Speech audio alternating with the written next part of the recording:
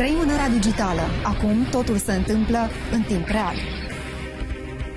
Efectele sunt imediate, iar consecințele sunt resimțite la scară globală. Trebuie să trecem dincolo de bombardamentul mediatic și să ajungem la informațiile cu adevărat relevante. Sunt Liana Alexandru și de la ora 19 vă aduc informația la putere.